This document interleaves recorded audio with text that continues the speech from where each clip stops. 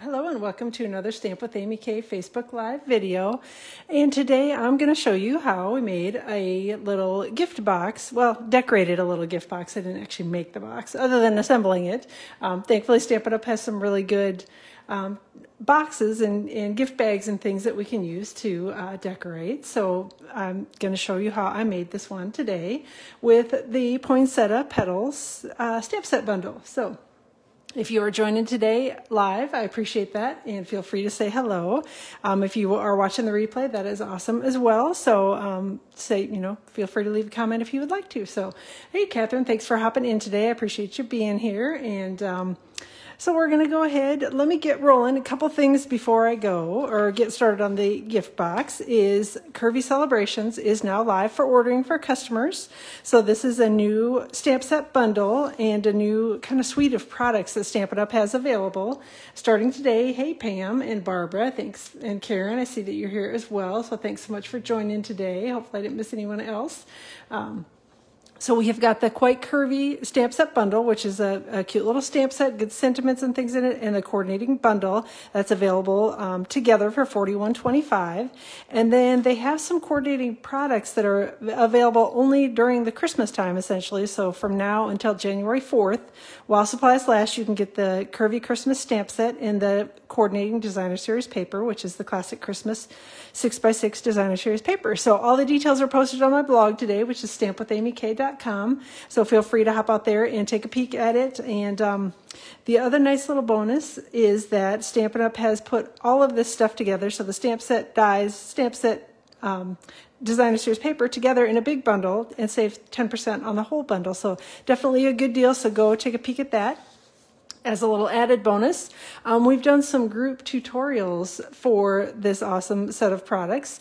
And we've got five video tutorials um, with written instructions as well. So written and video tutorials for you. So if you purchase either the um, Quite Curvy bundle or the Variety bundle from me, you're going to get those tutorials as a bonus for free. So um, if you order them anytime between now and January 4th. So let me know if you have questions on that. I would love to chat with you more about it. And um, let's get going on the, the actual project today. Hi, Bree and Tammy. Thanks so much for hopping in today as well. All right, so the stamp set we used, which I'm sure you've probably seen it. If you haven't, you need to look at it. it's definitely a good one from the um, August to December 2020 mini catalog. This is one, it's a um, photopolymer stamp set, two-step stamping, and it's absolutely beautiful. Love the sentiments in it. And what I really love about it, well, there are many things I love about it, but I also really love about it is that um, there are some coordinating dies that go with it as well. So um, the dies cut out some of the stamped images, and there are some standalone dies, and so it's definitely a good set, a good bundle. So if you do not have this, you definitely need to get it. All right, let me set that aside. Um, one other thing that I did use on this, oh, of course, is the, um, the little tag I actually cut with one of my new favorite die sets in the annual catalog. This is the Hippo and Friends die set. So it is a good one, and um, if you don't have it, you definitely need to get it because these the dies in this are awesome. They, they coordinate with so many of our sentiments and make such nice layers, so you definitely need to get it. All right, enough about that. So let me set that aside and um, let's get going on the project. So I started, and I know this is very shiny in the lights that I have, so I apologize. but this is one of the gold mini uh, pizza boxes that Stampin' Up! has. So I don't know if you've seen them in the catalog or not, but um, they have some white ones and they have the gold ones, and they're really cool. And I'm sure you can see my ugly face reflecting in this, so yikes, sorry about that. so they're actually quite easy to assemble. All that you need to do is pop out. There are little die cuts here, here, and here. Um, sometimes they fall out in the bag, sometimes they do not. So you need to pop those out and then fold up the corner pieces and edge pieces. This is the bottom part of your box, so we've got the little hole cut here for the, the little finger hole. And then fold up the end, fold it over again, push it down in so that the tabs are locked in together here. And that's all there is to assembling the bottom of the box. And the top of the box is equally as simple, and this is why I love these. You just fold up the um, on the score lines for the box, and then fold it closed. And ta-da, your box is all assembled, and it looks fantastic. And yes, even I can do this. hey, Kathy. Um, so, all right, so we've got that. That is the, um, the base that I'm working with today. So the card, well, I guess it's not a card. It's a, um, a box base, whatever you want to call it. Um, I've got some of the Shaded Spruce ribbon from the Wonder of the Season Combo Pack um, ribbon. And I'm actually going to use that, and I'm going to wrap it around the box and overlap it a little bit. And I'm actually wrapping it so that it's going to end on the top because the pretty flower that I'm putting on it actually will um, cover up where this is stuck together in the middle. All right. Um, it is really easy, Catherine. I mean, they're they're super super simple to to put together. So yes, if you haven't done it, haven't gotten them, you definitely need to. And I did a little testing on the adhesive, and I put this together a couple of days ago with Stampin' Seal Plus. And I think you're definitely going to need some of this adhesive if you do not have it yet, because it's awesome. And it's actually holding essentially the entire um, package, the top on the package. So I used the, the Seal Plus, and I put a couple of strips on it on the bottom of this, you know, hopefully you can tell the, the back side of the ribbon. And then I'm going to flip this over the top, flip the other one over the top, and then line them up so that they're pretty close to together. And then just press down, and that's actually what's holding everything on this. This entire band slides off the box, which I sort of intentionally designed it that way so that you didn't have to rip the whole top of it apart because it's too pretty in order to either put something inside it or for somebody to open it. So the ribbon just slides right off and so does everything else that's attached to it. So, so that is the reason for putting the adhesive on the ribbon and not sticking it on the top of the box. All right. Um, the next thing that I have is one of these square vellum doilies, and they come in a little package. And I'm just going to place that right across the top and in the center here. And I'm going to take, again, my Stampin' Seal, and I'm just going to run it across the top of the ribbon that I just put on here. Um, I, am a little careful just because I don't want to like pull really hard and actually tug the ribbon apart, um, but you don't have to be extremely gentle with it. So, all right, so I've got this and just going to go ahead and line this up. Um, where it's at on the box isn't as important to me as where it lands on the ribbon. So if it's not exactly centered top to bottom on the box, that's okay. Um, you want it to be centered on the ribbon because again, your ribbon, you can slide up and down on it. So all right, uh, all right, so we've got that put together. Um, next up, and I did a whole bunch of the die cutting ahead of time, so just because it's kind of boring to watch nothing while I'm die, die cutting. So I have got, these are the poinsettia flowers. They are cut with the poinsettia dies. Let me show you which ones I used. I used this die set, so it's the one that cuts around the outside as well as embosses. This one and this one, so it's the largest, the medium, and the, the smaller one of these um, that I used to die cut some of the red velvet paper, which that paper is really pretty. If you don't have any yet, you definitely need that as well. So, hey, Arlene, thanks for hopping in. And Linda, I see that you are here as well. So, thanks for joining today.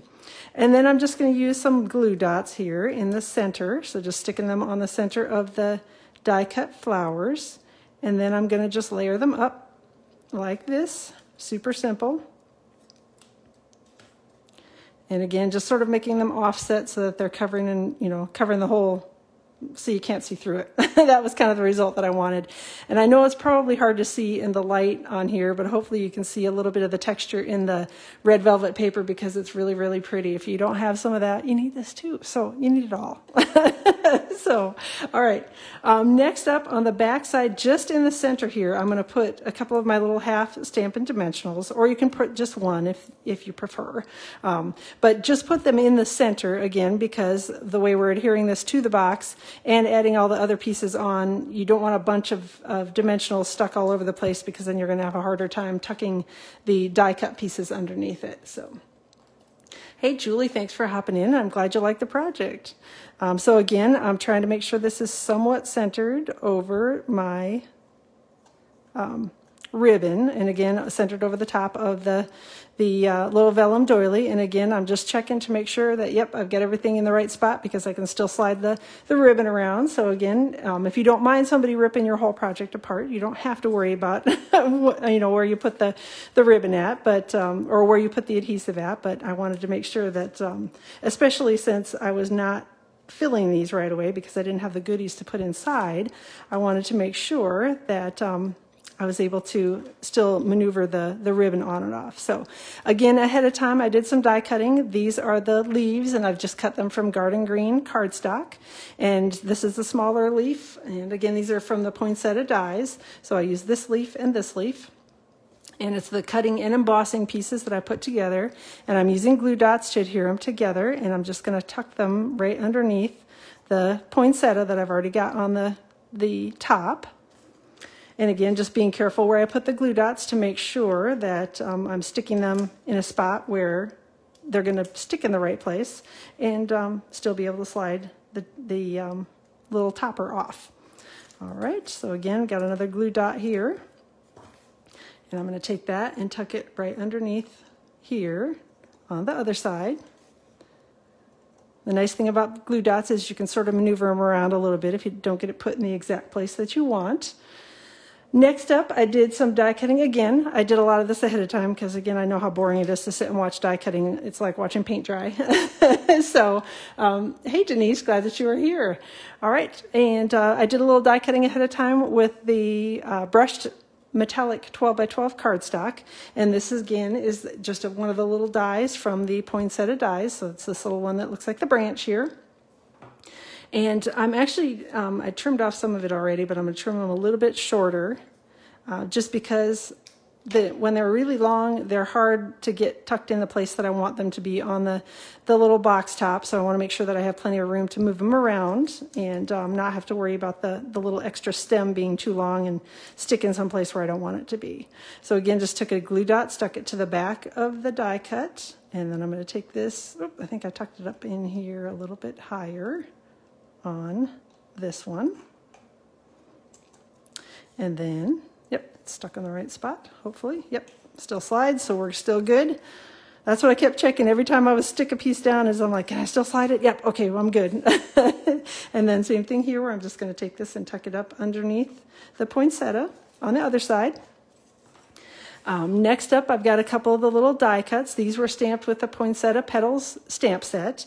And I realized after the fact that I was not paying attention. Hey, Jerry, thanks for hopping in today. So I was not paying attention at all when I looked at the stamp set. I didn't realize that, that you could actually stamp these um, with the, these two go together. And you can stamp the, the little um, berry images. But I had gotten busy and got everything all stamped and um, was going to color them with Stampin' Dimensionals or Stampin' with uh, Stampin' Blends. So that's still my plan today. Is I've got um, I stamped this ahead of time and die cut it with the uh, dies from the poinsettia dies. I stamped it in soft suede ink, and then I have got my Real Red Stampin' Blends marker, and I'm going to use the light color first. Come in here and color the the berries on the one. And then, oh, thanks so much. I appreciate that, Jeanette. And then I've got the dark um, Stampin' Blends, the real red one here. And I'm just going to come in and towards the bottom part where it's already shaded, I'm just going to add a little bit more color in. And I'm probably not even really going to blend these because I don't know that you can really tell that much um, because they're not very big. So I don't think you need to spend a whole lot of time coloring and blending. Or if you don't want to spend any time coloring and blending, um, just don't do what I did and stamp them instead. Because, gosh, I couldn't believe that when I looked at the image after the fact and I'm like, oh. And then I thought about stamping them here live and I thought, nah, because it'll look different. And anyway, so I'm just going with the coloring thing. So I'm showing you two techniques. That's it. I wanted to show you the coloring technique. Not that I screwed up. so it's okay. Y'all can laugh if you would like to, because I I was laughing at it. I told my daughter, and she's like, "Mom." so, all right, and then whoop, coming back in with the dark Real Red Stampin' Blends. Again, just adding a little bit of shading at the bottom. And remember with Stampin' Blends, if you get a little crazy and go out of the lines with them um, a lot where you want, you, you, want to fix it, you can always grab your color lifter and come back in and um, kind of push the color back in the lines. So I do that often because I do make a lot of mistakes when I color as well. All right, so we have got these ready to go on the project as well. And I'm just going to, again, use some glue dots and tuck them up underneath So it happens to the best of us. Well, I'm glad it's not just me, Catherine, because I was feeling like a total dingling when I looked at that and went, oh, I should have just stamped them. but all right. Hey, Anita, I appreciate you being here. Glad you were joining today.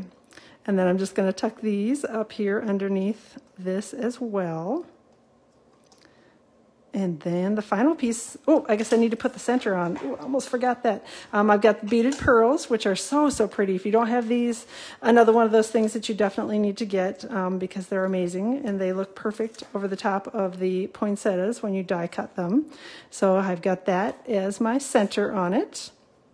And then last piece is just going to be doing a quick stamping and die cutting of a sentiment. Um, so again, I've got real red ink and the sentiment is from Poinsettia Petals. And just going to do a quick tapping on the ink pad, stamp it down, lift up, set this out of the way and hopefully not stick my fingers in the red ink. And then again, I am going to uh, take the little die here. It's the smallest of the octagons from the Hippo and Friends dies and I'm going to do some die cutting. When I cut it, I'm intentionally going to put it off center a little bit because again, I'm going to be tucking it underneath the flower, so I want as much of the sentiment showing as I possibly can. So no mistakes in stamping, just opportunities for something different. You are correct. That's it. I didn't screw it up. It was I wanted it to be that way. so thanks, Pam. All right, so I'm just going to do the die cutting here off to the side. Hopefully going to run it quickly through my die cutting machine and not make a mess.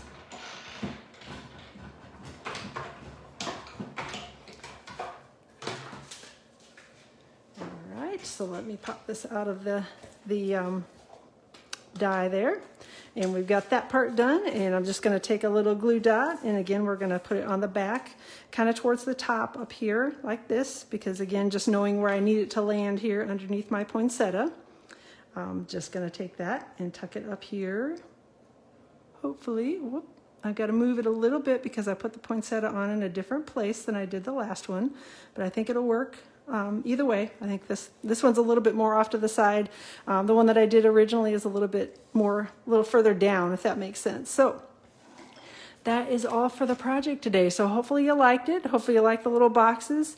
Um, it's a great bundle and super easy to use. You could even take this if you wanted to do a coordinating card with it and do essentially the same thing and put it on a card front. Um, maybe change up the sentiment a little bit or even keep the same sentiment. But either way, you can definitely could take this and lift it off and put it on a card front as well because it's just an awesome, awesome set of dies and you can do lots and lots of things with them. So thank you so much for joining me today. Hopefully, y'all have a fantastic um, rest of your week. And uh, I will not be live like I usually am at 2 o'clock on Friday. Stampin' Up! has their demonstrator on stage at home event, so I'll be attending that all day on Friday. But I will be back here next week, uh, Tuesday, around 2 o'clock Eastern Time Live, so you can catch me then. And again, all the, the details for this project will be posted out on my blog tomorrow, and I will share a link in this video so that you'll be able to find it if you need to go back and take a look. Um, I'll also have printable instructions, PDF instructions for it as well. So. Uh, thanks for joining and hope that y'all have a good rest of your day and we will chat soon.